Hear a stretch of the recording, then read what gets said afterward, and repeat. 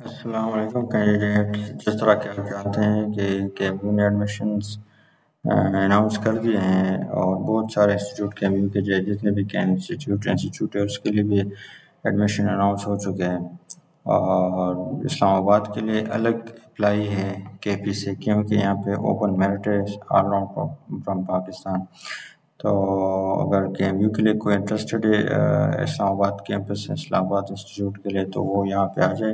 CAT I S B dot K M U dot E D U dot P K पे। और यहाँ पे create account पे click कर दे। क्रिएट अकाउंट पे आपकी जो सी है, वही आप इंटर कर ले। वो सी आप इंटर कर ले, जिससे आपने K M U CAT test पे रजिस्ट्रेशन किया था।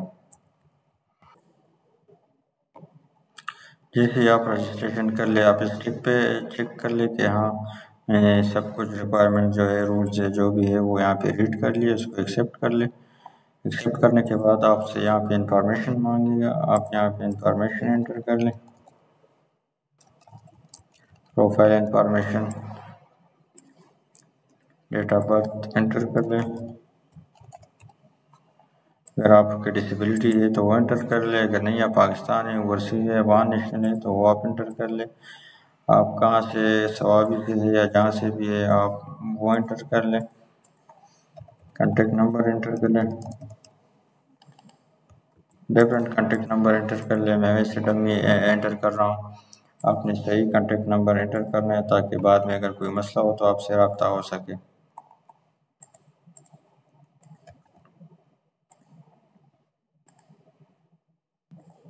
अपना passport size profile photo upload कर दे, यहाँ पे मैट्रिक रोल नंबर और आपके जितने भी मार्क्स थे मैट्रिक में वो एंटर कर ले। अगर आउट ऑफ़ एलेवन हंड्रेड है तो एलेवन हंड्रेड एंटर कर ले। पासिंग ईयर कौन सा था, वो एंटर कर ले और कौन से बोर्ड से आपने किया है तो आप वो एंटर कर ले।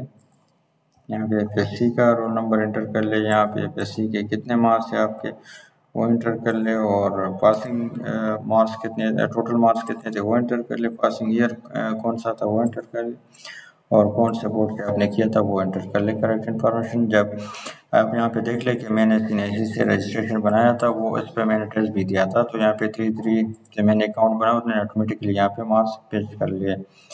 मैं कहता हूँ कि हाँ ठीक है, बस यही मार्क्स है मेरे, इसको सेव कर लें। यहाँ से आपने चंद डॉक्यूमेंट से वो अपलोड करने हैं।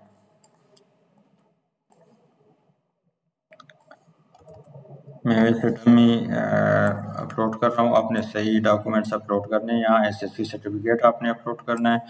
यहाँ पे F S C D M C मांग रहा है तो आपने F S C D M C upload करना है। यहाँ पे डोमिसाइल फ्रंट साइड और डोमिसाइल बैक साइड डोमिसाइल मांग रहा है। तो आपने लाजमी ये चीज़ें अपलोड करनी है।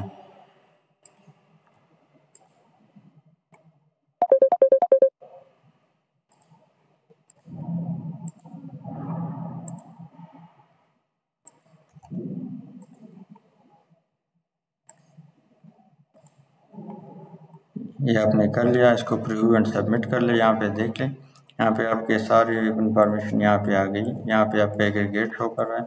यहाँ पे जितने भी प्रोग्राम्स में, जिसमें आप एडमिशन ले सकते हो, यहाँ पे आ गए यहाँ पे आपका प्रोफ़ाइल डेटा है। अगर आपने तस्वीर चेंज करना है तो इस पर क्लिक कर ले। अगर आपने प्रोफ़ाइल इंफॉर्मेशन चेंज करना है तो इस पर क्लिक करें। अगर एजुकेशन इंफॉर्मेशन आपने चेंज करना है, इस पर क्लिक कर ले। अगर सब चीज़ें ठीक है ओके तो आप इसको सबमिट कर लें। सबमिट कर दिया। सबमिट करने के बाद आप डाउनलोड बैंक डिपॉजिट स्लिप कर लें। बैंक डिपॉजिट स्लिप आप देख लें इसमें। बैंक डिपॉजिट स्लिप आपका जनरेट हो गया यहाँ पे। ये आपका चालान नंबर है। आप इसको बी में भी जमा कर सकते हैं और एमसीबी बैंक में भी जमा कर सकते हैं। और क्विक पे के थ्रू जो है ना इजी पेस और जी केस जो है ना कंज्यूमर आईडी ये है। तो इजी पैसा या जी से क्विक पे का जो चैनल है, उस पर आप भी पे कर सकते हैं। पे करने के बाद आपने क्या करना है, आपने यहाँ पे आ जाना है और यहाँ पे अपलोड पे डिपॉजिट स्लिप पे आना है। अपलोड पे डिपॉजिट स्लिप ने आपने यहाँ पर B S admission deposit slip select करना है और यहाँ पे आपने उसका फ़ोटो लेना है बैंक में जमा करने के बाद या अगर आपने इसी पैसा से कर दिया तो उसका स्क्रीनशॉट जो है ना, लेने के बाद आपने इसको यहाँ पे अपलोड करना है। यहाँ पे अपलोड हो गया। थैंक यू अल्लाह हाफिज़।